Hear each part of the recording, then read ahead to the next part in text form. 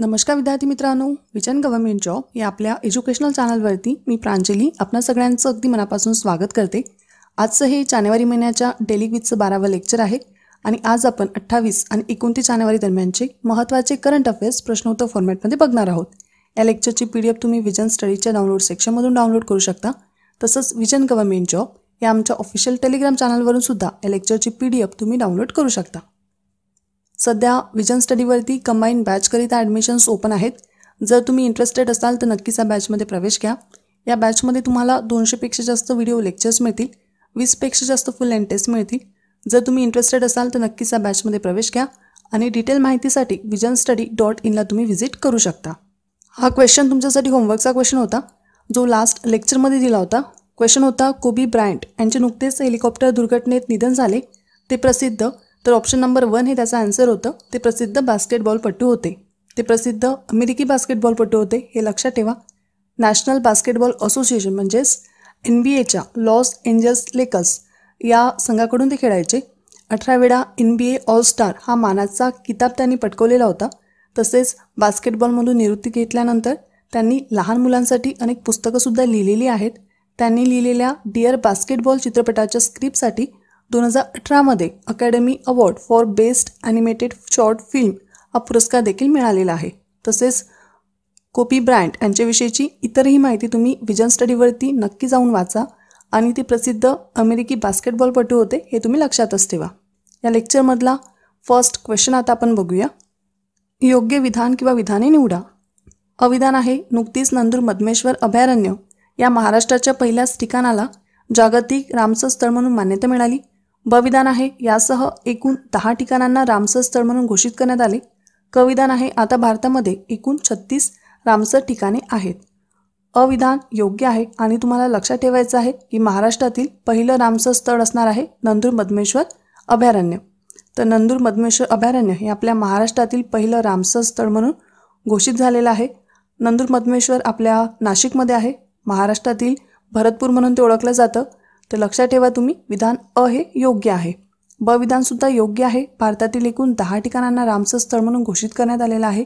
त्या दहा ठिकाणांमध्ये महाराष्ट्रातील एक आहे पंजाबमधील तीन आहे आणि उत्तर प्रदेशमधील सहा आहेत तर असे एकूण दहा ठिकाणांना रामसर स्थळ म्हणून घोषित करण्यात आलेलं आहे. क विधान हे चुकीचं आहे कारण भारतामध्ये एकूण सदोतीस रामसर ठिकाणं आहेत. अगोदर सत्तावीस होती आता ही दहा नवीन ॲड झाली त्यामुळे रामसर स्थळ भारतामधील एकूण सदोतीस झालेली आहे. तर अ आणि ब हे आपलं आन्सर आहे. आपल्याला योग्य विधान ओळखायला लावलेली होती. तर मी पुन्हा एकदा सांगते. महाराष्ट्रातील पहिलं जे रामसर स्थळ आहे ते आहे नंदूर मधमेश्वर. भार भारतामधील एकूण दहा ठिकाणांना रामसर स्थळ म्हणून घोषित करण्यात आलेलं आहे. आणि आता भारतामध्ये एकूण सदोतीस रामसर ठिकाणं झालेली आहेत. तर ही सगळी माहिती लक्षात ठेवा. तसेच रामसर कन्व्हेन्शनच्या ज्या तुमच्या नोट्स असतील त्यातसुद्धा तुम्ही रिवाईज करा. आता जी नवीन रामसर स्थळं घोषित झालेली आहेत त्यांचे नावं आपण बघू.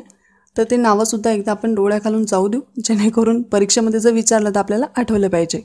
तर पंजाबमधील तीन आहे तर ते तीन लक्षात ठेवा. नांगल वाईल्ड लाईफ सँच्युरी केशवपूर वेस्ट केशवपूर वेटलँड आणि व्यास वेटलँड साईट उत्तर प्रदेशमधील सहा आहेत. एक आहे त्यातलं सरसई नवाज झील त्यानंतर नवाबजंग bird सँच्युरी सामसपूर bird सँच्युरी sandy bird सँच्युरी Parvati Agra bird सँच्युरी आणि सॅमन बर्ड सँच्युरी ही नावंसुद्धा लक्षात असू द्या. आणि महाराष्ट्रामधील तर कंपल्सरी लक्षात ठेवायचं आहे नंदूर मधमेश्वर बर्ड सँच्युरी ही सगळी इन्फॉर्मेशन लक्षात ठेवा.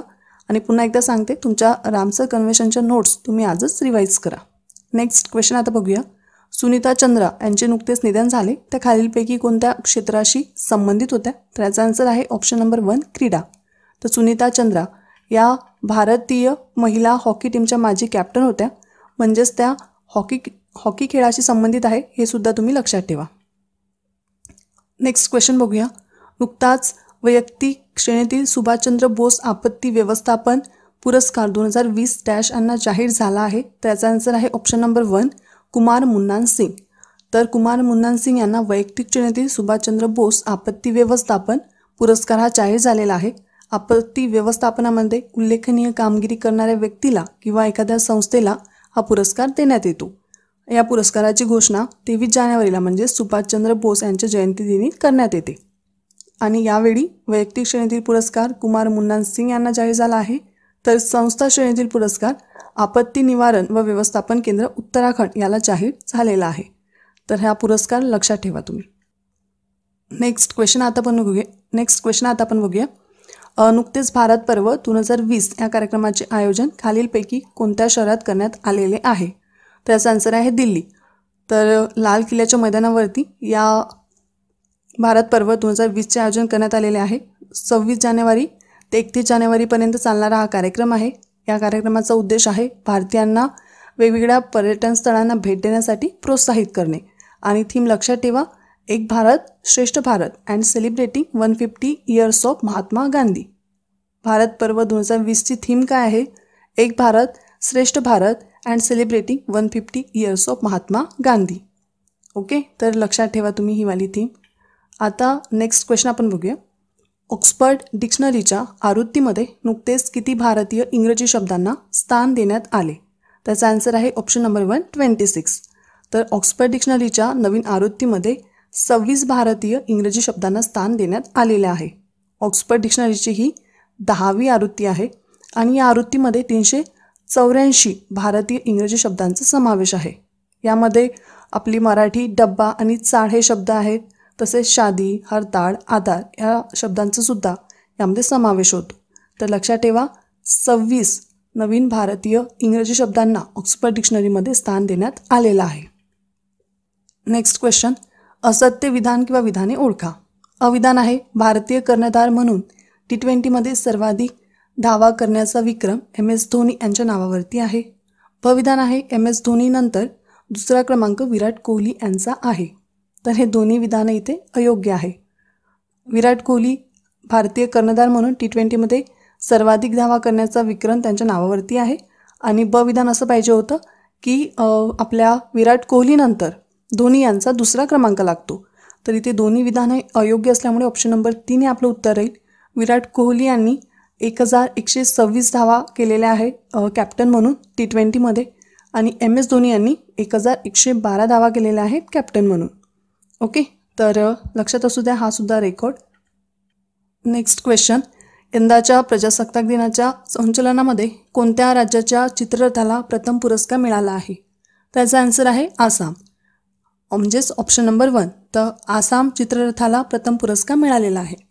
आसामचा चित्ररथ हा आसामची संस्कृती आणि शिल्पकला यावरती आधारित होता. सेकंड नंबरवरती ओडिशा आणि उत्तर प्रदेश आहे. ओडिशाचा चित्ररथ हा रथयात्रेवरती आधारित होता आणि उत्तर प्रदेशचा चित्ररथ हा सर्वधर्म समभाव या थीमवरती आधारित होता. तर लक्षात ठेवा पहिल्या नंबरवरती आसामचा चित्ररथ आलेला आहे. सेकंड नंबरवरती ओडिशा आणि उत्तर प्रदेश संयुक्तपणे आहे. आणि यावर्षी आपल्या महाराष्ट्राचा चित्ररथ नव्हता. रोटेशन पद्धतीमुळे. ओके? नेक्स्ट क्वेश्चन नागोबा जत्रा फेस्टिवलला नागोबा जत्रा फेस्टिवलचा नुकताच समारोप झाला. हा फेस्टिवल खालीलपैकी कोणत्या राज्यात साजरा करण्यात येतो? त्याचा आन्सर आहे ऑप्शन नंबर वन तेलंगणा. तर तेलंगणामध्ये नागोबा जत्रा फेस्टिवल हा साजरा करण्यात येतो.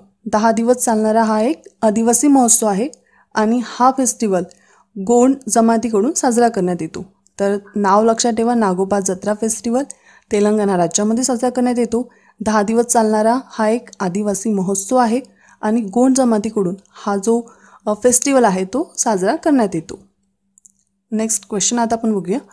तरंजित सिंह सिंधू यांची नुकतीच खालीलपैकी कोणत्या देशाच्या राजदूतपदी नियुक्ती करण्यात आलेली आहे? तर याचा आन्सर आहे united say united states of America म्हणजेच U S A option number तीन. तर तरंजित सिंग सिद्धू यांची यू एस एच्या राजदूतपदी नियुक्ती करण्यात आलेली आहे. जे आपले यू एस एचे राजदूत होते हर्षवर्धन शुंगला यांनी आता परराष्ट्र सचिव म्हणून कारभार स्वीकारलेला आहे एकोणतीस जानेवारीला. त्यामुळे तरंजित सिंग सिद्धू यांची यू एस एच्या राजदूतपदी नियुक्ती करण्यात आलेली आहे. सिंधू हे एकोणीसशे अठ्ठ्याऐंशीच्या बॅचचे आय एफ एस ऑफिसर आहेत आणि ते सध्या श्रीलंकेमध्ये उच्चायुक्त आहेत. तर लक्षात ठेवा तुम्ही ही सगळी इन्फॉर्मेशन आता आपण नेक्स्ट क्वेश्चन बघूया. अविधान आहे पश्चिम बंगाल विधानसभेने नुकताच सी ए विरोधात ठराव मंजूर केला आहे. या कायद्याविरोधात ठराव मंजूर करणारे पश्चिम बंगाल हे दुसरे राज्य ठरले. भविधान आहे सी ए विरोधात राज्याच्या विधिमंडळात ठराव मांडणारे आणि ते मंजूर करणारे आणि ते मंजूर करून घेणारं केरळ हे पहिलं राज्य आहे असत्य अविधान हे असत्य आहे. कारण सी ए कायद्याविरोधामध्ये ठराव मंजूर करणारं पश्चिम बंगाल हे चौथं राज्य ठरलेलं आहे. आणि ब विधान हे योग्य आहे की सी ए विरोधामध्ये राज्याच्या विधिमंडळात ठराव मांडणारं पण आणि तो मंजूर करून घेणारं केरळ हे पहिलं राज्य आहे. असत्य विधान आपल्याला ओळखायला लावलं होतं. त्यामुळे विधान अ म्हणजेच ऑप्शन नंबर वन हे आपला आन्सर येईल. आता तुम्ही लक्षात ठेवा की सी ए विरोधामध्ये केरळ सी ए विरोधामध्ये ठराव मंजूर करणारं केरळ पहिल्या नंबरवरती आहे सेकंड नंबरवरती पंजाब राज्य आहे थर्ड नंबरवरती राजस्थान आहे आणि फोर्थ नंबरवरती पश्चिम बंगाल आहे. तर सी ए सगळ्यांना आता माहिती आहे. आता तुम्ही फक्त एवढं लक्षात ठेवा की सी ए विरोधामध्ये ठराव मंजूर करणारं केरळ पहिलं आहे पंजाब दुसरं आहे राजस्थान तिसरं आहे आणि पश्चिम बंगाल चौथं राज्य आहे. हा क्वेश्चन तुमच्यासाठी होमवर्क आहे. क्वेश्चन आहे नुकतीच खालीलपैकी कोणत्या शहरात तिसरी वैश्विक बटाटा परिषद आयोजित करण्यात आली? त्याचा आन्सर तुम्हाला कॉमेंटमध्ये द्यायचा आहे. तर याचा आन्सर कॉमेंटमध्ये द्या. नेक्स्ट लेक्चरमध्ये आपण याविषयी डिस्कस करूयाच. जाता जाता एक आठवण करून देते. सध्या विजन स्टडीवरती टेस्ट सिरीजसाठी ॲडमिशन्स ओपन आहेत. जर तुम्ही इंटरेस्टेड असाल तर नक्कीच या बॅ जर तुम्ही इंटरेस्टेड असाल तर नक्कीच तुम्ही विषयानुसार किंवा कंबाईन सब्जेक्टसाठी टेस्ट सिरीज जॉईन करू शकता. तर आता इथे आपण थांबूया. भेटूया पुढल्या लेक्चरमध्ये तोपर्यंत जय हिंद. धन्यवाद. आता विजन स्टडी डॉट इनमुळे अगदी माफक दरात एम पी एस सीचा अभ्यास करणे शक्य झाले आहे. मी ॲडमिशन घेतले. तुम्हीही घ्या. अधिक माहितीसाठी विजन स्टडी डॉट इनच्या संकेतस्थळावर भेट द्या. Please visit Vision Study dot in